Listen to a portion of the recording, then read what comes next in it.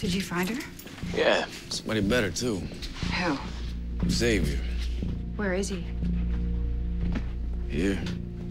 With me. Good timing, too. Pollock dropped him a plane ticket and passport. This time tomorrow, he would have been in Brazil. Frank, we need to be smart. He can help us in court. I know. So tell me where you are. Just trust me. Trust me and tell me where you are. Bond, this is not something you need to see. Frank.